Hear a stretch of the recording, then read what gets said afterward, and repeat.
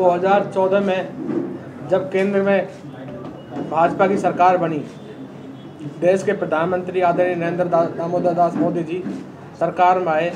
सरकार से पहले, चुनाव से पहले वादे थे, बेरोजगारों को रोज़गार दिया जाएगा, दो करोड़ युवाओं को रोज़गार दिया जाएगा।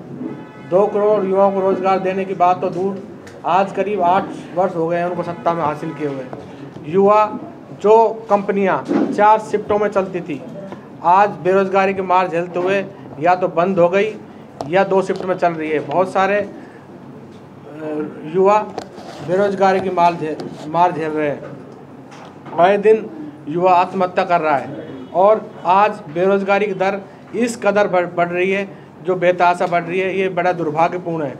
और मैं आपके माध्यम से ये बताना चाहता हूँ, जो आम युवा, बेरोजगार, केंद्र सरकार की जो सरकारी नौकरी होती थी चाहे रेलवे लगा लो या कोई और लगा लो आज पिछले तीन चार वर्षों में एक भी युवा रेलवे में नौकरी नहीं लगा है जिन केंद्रीय संस्थाओं में युवा रोज रोज़गार पा, पाने का काम करता था आज उन संस्थाओं को मोदी जी के द्वारा बेचने का काम किया जा रहा है। और साथ ही जो सेना की भर्ती के द्वारा बहुत सारे देश के सैनिक बनते थे आज अग्निवीर जैसी योजना लाकर देश में चार साल के लिए युवा को एंगेज कर कर किस दिशा में रोज़गार देने की बात कर रहे हैं ये लोग? इसी तमाम मुद्दे को लेकर सारी यूथ कांग्रेस मिलकर पूरे देश भर में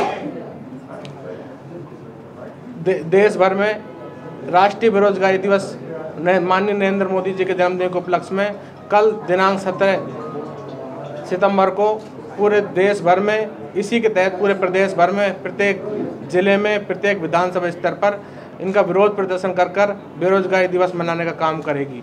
तरह तरह से उन, जिससे आम युवाओं की आवाज़ हम उस केंद्र सरकार की गूँगी बहरी सरकार तक पहुँचा सके।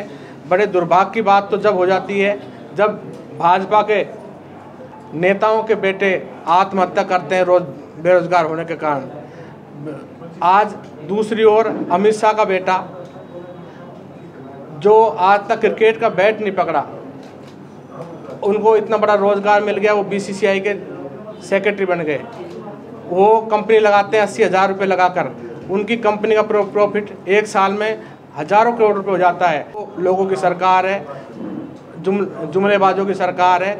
इसको लेकर के पूरे प्रदेश भर में, पूरे देश भर में कल सत्रह तारीख को राष्ट्रीय बेरोजगार दिवस मनाया जाएगा। मीडिया बंदों को बहुत बहुत बधाई। कि आपने हमारे आमंत्रण को स्वीकार किया और यहाँ पर आए हैं। कल हम लोग कांग्रेस भवन से अल्बर्ट टेक्का चौक पर एक भव्य बेरो राष्ट्रीय बेरोजगारी दिवस के रूप में मना रहे हैं और जिस तरीके से आज नौजवान के पास रोज़गार ख़त्म हो चुका है और कोरोना काल के बाद इस देश के अंदर में ख़ास तौर से झारखंड राज्य की मैं बात करूँगा तो कई लोग जो दिल्ली से प्लान करके आ गए और पुनः दिल्ली गए या दूसरे दूसरे राज्यों में गए रोज़गार के तलाश में, जिस काम को वो पच्चीस, तीस हज़ार और पचास हज़ार या लाख के सैलरी पे काम करते थे, आज उसी काम को आधे दर पे और उससे भी कम दरों पे वो करने के लिए मजबूर है।